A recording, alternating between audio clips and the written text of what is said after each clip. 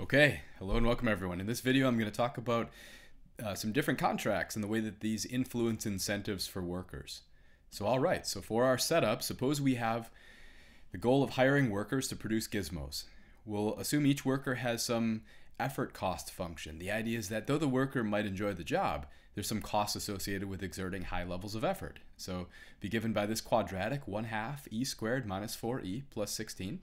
We'll assume the worker's utility is just going to be whatever is their compensation, which could include a fixed and a variable component, minus this effort cost. We'll assume the worker will have some outside option. So in this case, 30,000. We'll assume total gizmo production is just Q is equal to E. So there's one-to-one relationship between one unit of effort and one gizmo produced. And we'll assume we can sell each gizmo for $16,000. And we'll assume our only cost is labor. So maybe our gizmos are some type of service. I don't know or we have some really cool production technology. Either way, so suppose we suppose we pay only a fixed wage. What's going to be the effort for our worker? Right. So the first part is like, all right, suppose we pay some flat wage. A lot of jobs do this. A lot of salary jobs, a lot of uh, hourly wages are just going to be completely invariant to the actual output. We're going to assume away the possibility of any type of bonuses or something that could be conditioned on meeting a particular threshold. No, in this example, we're just thinking about some fixed wage and then what's going to be the effort that results. And then we can think about what the wage would have to be to get them to agree, get the worker to agree to that contract. Then in C, we'll think about what are our profits. Basically, A, B, and C are all kind of figuring out what's going to happen if we pay a fixed wage. D is going to be investigating what happens if we have a full incentive contract. So now we're going to vary the fixed component or we're going to break down the wage into a fixed component and a variable component. This is a little bit reminiscent of a two-part tariff in terms of like, in this case, not extracting surplus from consumers, but extracting surplus from the workers, right? So hopefully you see that relationship. Then we can think, does the worker or the entrepreneur have some preference between these contracts? You should be able to answer that right away, which is if we're looking at what our worker's outside option is, which was 30,000, probably the optimal way to build these contracts is to make them exactly indifferent between their outside option of 30,000 and our fixed wage and our full incentive contract. And indeed, that's going to be the result. Um, and then we'll think about like which one's going to be profit maximizing. Turns out under this type of setup in relatively simple models like this, making some assumptions, the full incentive contract is the profit maximizing contract. So Anyway, so let's go ahead and see what happens if we pay only a fixed wage. Well, so we need to write down the worker's utility function. That is going to be given by their wage, which is just the entire compensation. In this case, it's a fixed contract, so it'll just be the fixed component, minus the effort cost function. All right, so W minus 1 half E squared minus 4E plus 16, and then distributing the sign, and then taking the derivative, differentiating uh, utility with respect to effort, right? So the the idea here is we want to find this is the worker's utility maximization problem where they're choosing their effort level. So take the derivative with respect to our choice variable, in this case effort, we find the optimal effort level is 4 for the worker. When, in matter of fact, it doesn't matter what the wage is going to be, they're always going to exert an effort level of 4. So we better take that into consideration, right? So what's going to be the wage we need to give so that they're willing to do this? Well, remember the outside option was 30,000. I'm just going to drop the K or drop the 1,000 and just make it 30 for ease of computation. So we'll set 30 equal to their utility. In this case, the utility is going to be, well, the same function above. Now we're going to evaluate this at 4. Right? Okay, so we have 30 is equal to A minus this expression, which boils down to just 8, right? Because this is 16 minus 16 and positive 16, so this part is just 16, and this, this drops out, so this part is 16 divided by 2 is 8, right? And then, so, oops. So here I got ahead of myself. I think I was going through, and I was trying to correct my work and make things look like my handwriting neater. This is actually wrong right here. I'm trying to highlight it, won't let me do it. Kind of a little bit. So this is this should be 30 still, right? So where did this 8 come from? Yeah, it's a mistake. I meant to write 38 down here. So as we're solving here, just one more time, we have 30 is equal to this stuff. Evaluate effort at 4. We're going to find that we'll get 30 is equal to a minus 8. Move the 8 to the other side, so a has to be 38. Right? So then thinking about this make this make better sense. The effort cost associated with a level of effort equal uh, level of effort of four is going to be is going to be uh, eight, and we need the worker to get at least thirty. Otherwise, they'd rather take their outside option. So we have to pay them 38 so that they're compensated for their effort. And then they decide to accept this contract. Right?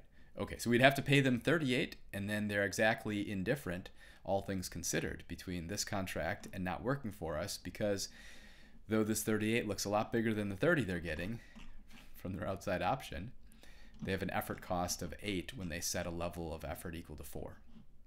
Okay, so what about our profits? Well, we said we could sell each gizmo for 16. So we can sell each gizmo for 16. We're going to get four gizmos because there's a one-to-one -one relationship between gizmos and effort. I told this right here, Q is equal to E.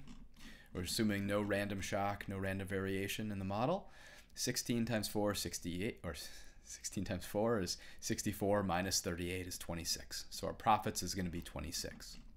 All right, so what about the full incentive contract now? Suppose we vary both, suppose we break up the compensation to a fixed and a variable component. What's going to happen now? Well, the first thing we have to do is we want to find the variable component.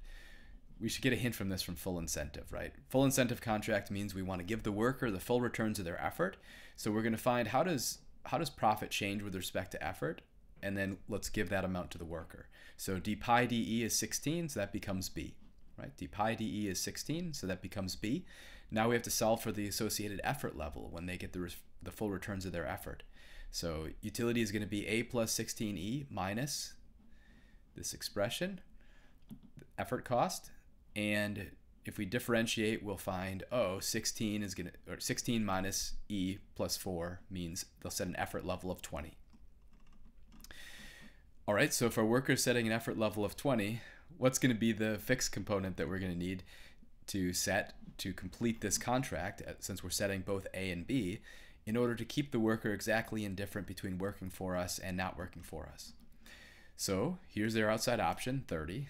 I haven't replaced it to 38 anywhere, of course not. So 30 on the left-hand side is just their outside option. The right-hand side is their utility function. Well, is the is the utility which is generated from the wage minus the effort cost function. So A plus 320 minus 200, this is 400 divided by 2 is 200. Here's 4 times 20 is 80. And then here we have uh, minus 16. Why? Because this minus sign comes through. And we'll find that A will end up having to be minus 154. So I should move this line a little bit. This is, this is like a 3 or something.